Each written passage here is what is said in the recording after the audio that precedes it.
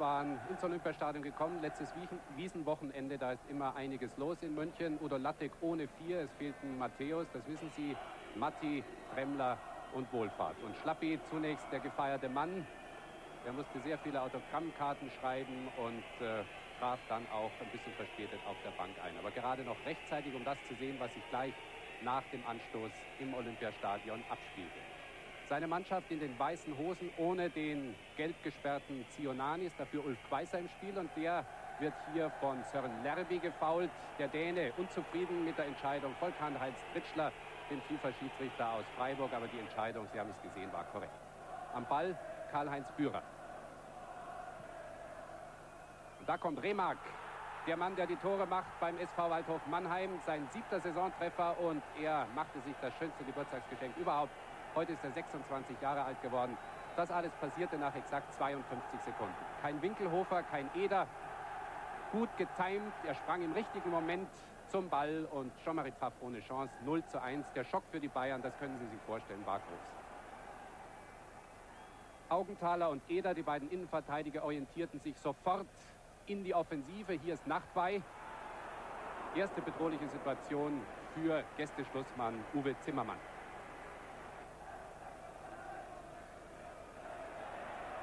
Ein Ausdruck dafür, wie nervös die Bayern waren. Abspielfehler zuhauf und die Gäste kamen schnell aus der Abwehr heraus. Sehr, sehr gefährlich. Mit drei Spitzen, Gaudinho relativ weit nach vorne orientiert und Jean-Marie Pfaff hatte zunächst mehr Arbeit, als ihm lieb sein konnte.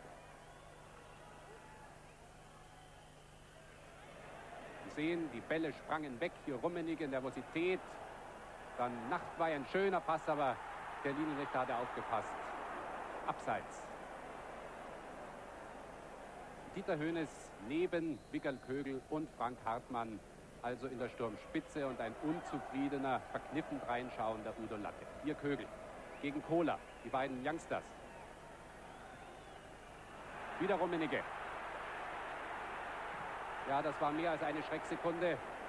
Im Abschluss schwächen heute bei den Bayern unübersehbar. Immer wieder kam Eder, offensiv wie selten zuvor in München. Und immer wenn sie über Kögel kamen, dann wurde es für die Gäste gefährlich.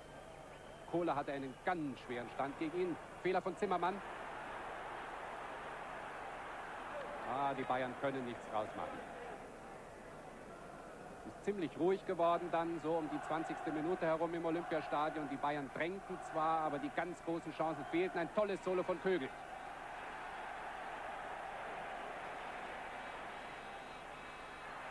Wieder Rummenigge. Da hätte das Spiel fast vorentscheiden können. Zwei, drei erstklassige Möglichkeiten in der ersten Dreiviertelstunde.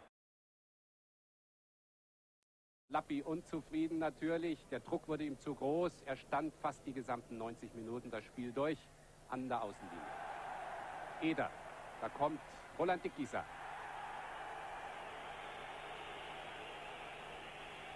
Ja, und Fritschler wartete dann einen Moment. Dickgießer leicht angeschlagen, bekam dann die gelbe Karte. Freistoß, da steht Lerby bereit. Und der Däne zieht da gewaltig ab. Es ging so schnell, dass wir das im Stadion kaum mitverfolgen konnten. Und hier lag das 1 zu 1, also wahrlich in der Luft. Aber immer noch die Führung für die Schlappner-Truppe.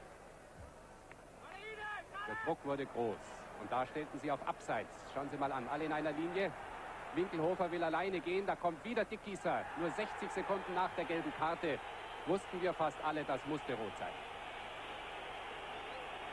Zwei Fouls innerhalb von einer Minute. Das hätte er nicht tun dürfen.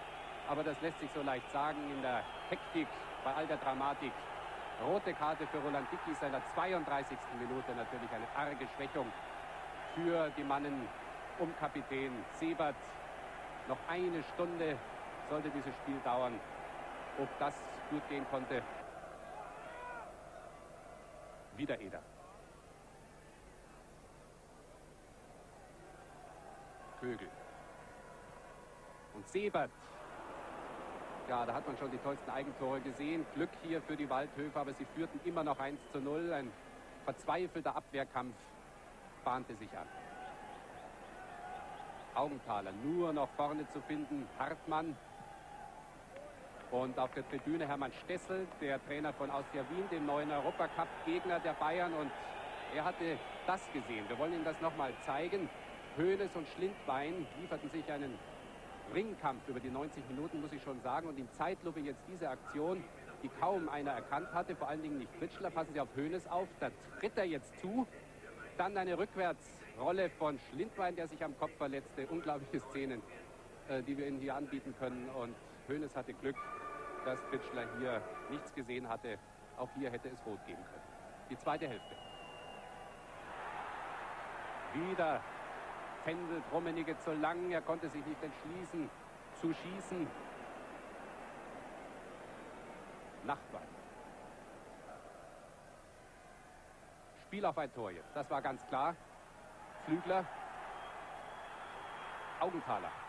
Und ein glänzender Uwe Zimmermann, der sich ja noch für Mexiko empfehlen will. Franz Beckenbauer saß unter den 45.000 Zuschauer und notierte mit. Augenthaler. Schön. Und dann kommt Lerby und dafür bekam er die gelbe Karte.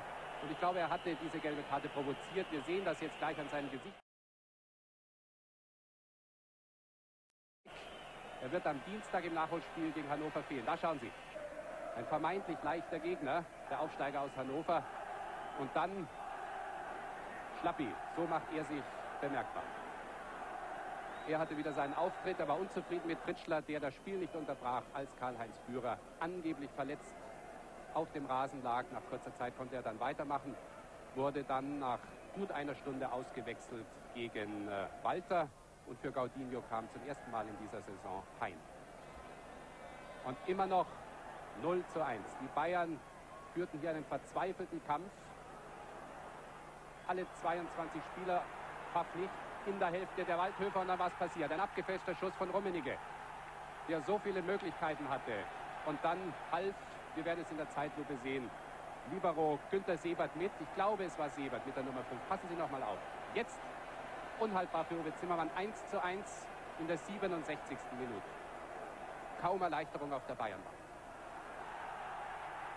Lerby auf Kögel.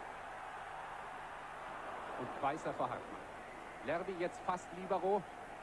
Er war am Rande eines Platzverweises, dafür Augenthaler noch mehr nach vorne orientiert. Und dann Alfred Schön, von dem nicht viel zu sehen war. Hier seine beste Szene.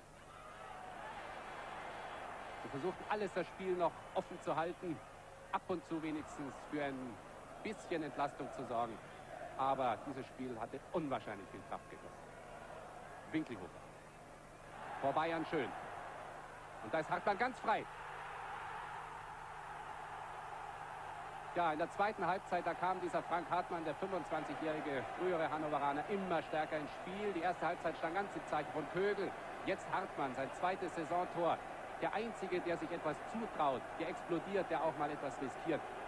Und der hier ein tolles Tor macht. 2 zu 1. 73. Minute. Und Waldhof musste alles nach vorne nehmen und dann gab es diese Konterchancen. Hartmann ganz allein.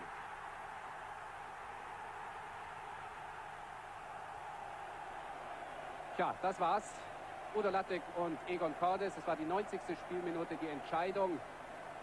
Letztlich nicht unverdient, sicherlich für die Bayern, die sich aber über eine Stunde lang enorm schwer taten gegen eine gute, gut stehende Waldhöfer Abwehr. Aber am Ende reichte es dann doch nicht. 3 zu 1, damit Wiedergutmachung für die Niederlage im letzten Jahr. Und der Schlappi ließ dann die Hüte in der Tasche und musste Udo Lattek gratulieren zu diesem Sieg. Damit zurück ins Studio.